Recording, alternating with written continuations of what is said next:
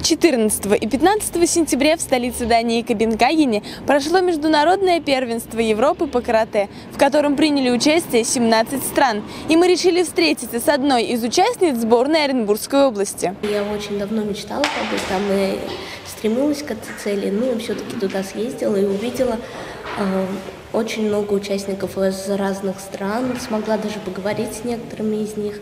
Вот. Очень интересно было.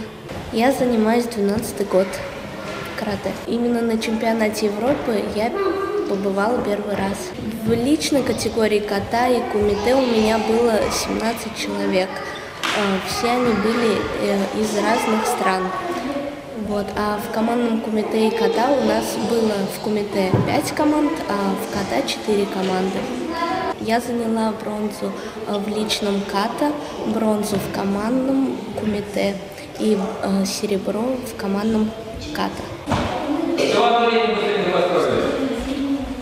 Так, Павел, во-первых, Эллиот, там сам клуб строит все.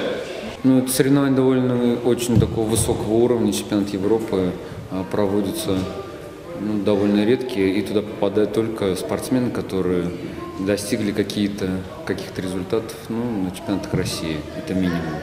На соревнования данного уровня а, попасть довольно-таки сложно.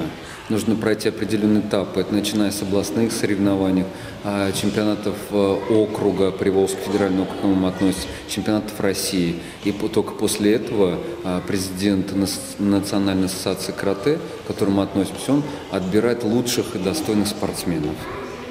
Настя попала в это число, потому что неоднократно была победителем чемпионатов России.